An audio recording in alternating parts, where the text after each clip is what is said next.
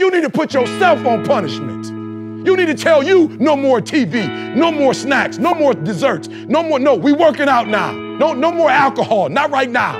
Not no, I can't handle it right now. You need to tell you that you owe you something. Stop going back to you. You keep going to the mall with the receipt. This is what y'all said it was. Glenn, you didn't do what you said you was gonna do. Well, you didn't do what you were supposed to do. So how am I gonna do what I'm supposed to do for you?